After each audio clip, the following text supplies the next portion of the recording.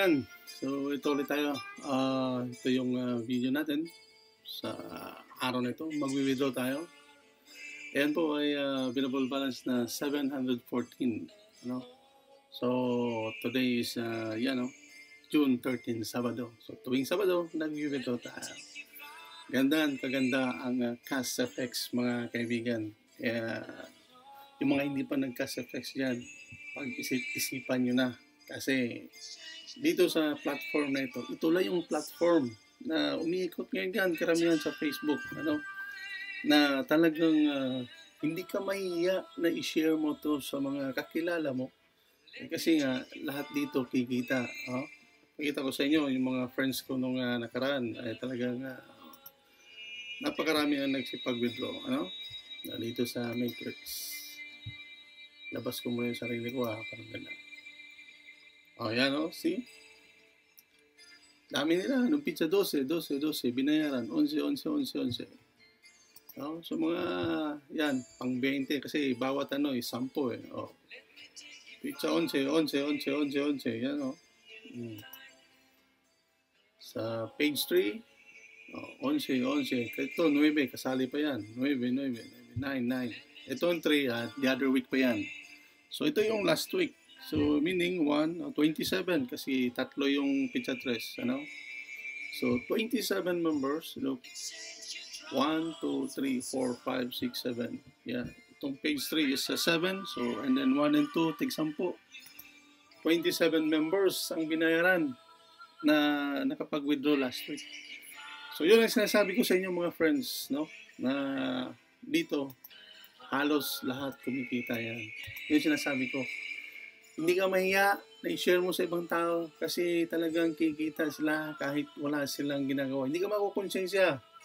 No? Kasi hindi hindi ka na mag-bother uh, na purasahin sila. Mag-recruit ka. Hindi ka na. Walang ganyanan dito sa Cash FX. Yan ang pinakamaganda. Kaya uh, share ko lang din sa mga balak na sumali sa mga trading platform. Ito sa trading talaga ito. May trading talaga nangyari. Kita mo dito sa resource uh, resources namin sa web TV. Uh, ah, pero Sabado ngayon eh, walang withdraw, walang uh, trading nangyari ngayon. Kita nyo? Sunday pa yung trading.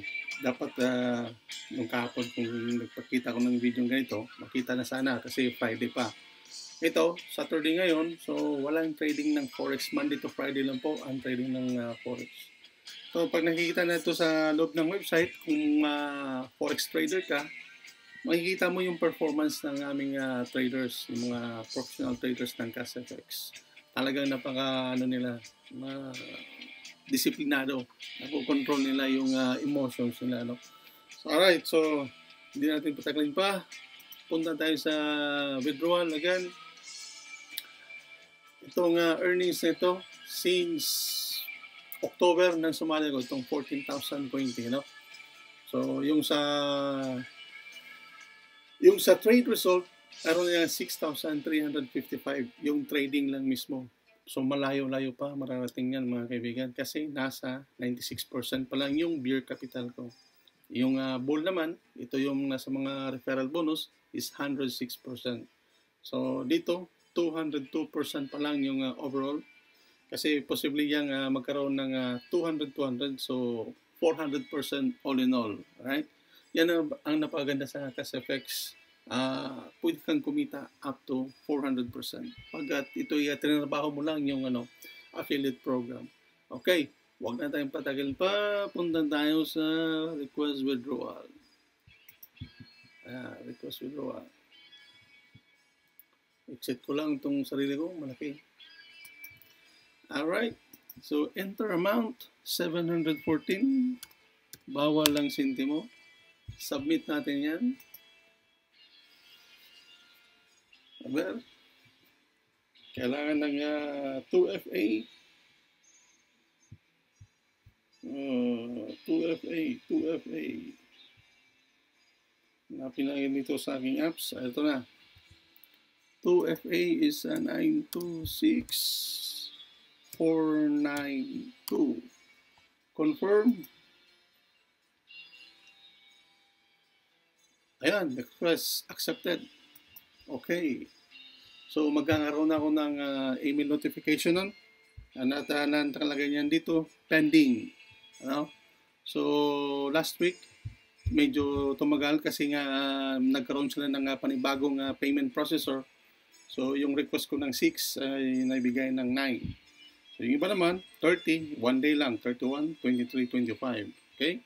So ang napakaganda ngayon nitong week na ito ay uh, umabot kami ng 5.23% from June 8 to June 12. So saan pa ka makakita ng uh, platform na ganyan, nagbibigay ng uh, 5.23%, wala kang ginagawa. No? Unlike sa mga ibang platform, mayroon dyan marami nag-offer, nagsilabasan sa Facebook ngayon. Ito lang ang ma-share ko sa inyo mga friends, mga kabayan. Yung mga naalala nyo sa Mindanao, di ba, uso nung mga region kapa, yung mga gano'n. Oh. Kasi manumano yun, eh. yung bigayan ng pera, manumano. Ibibigay mo sa kung sinong ahente, di ba? yun ay napakadelikado. Uh, ngayon, lumalabas naman na meron mga ganyan ngayon. So, ingat po tayo dyan. Sana madala na. Huwag na kayong uh, pumatol sa mga ganyan.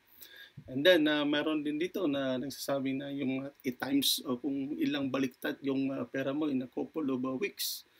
So, kung talagang totoong nagte-trading sila, maganda. Pero kung wala silang may pakita na talagang nagte-trading, unlike yung kanina, yung uh, web TV namin, na yung mga nagpakita ng performance ng mga traders ay napaka ano yan, napaka delikado yung mga ganyang klaseng platform mga kaibigan.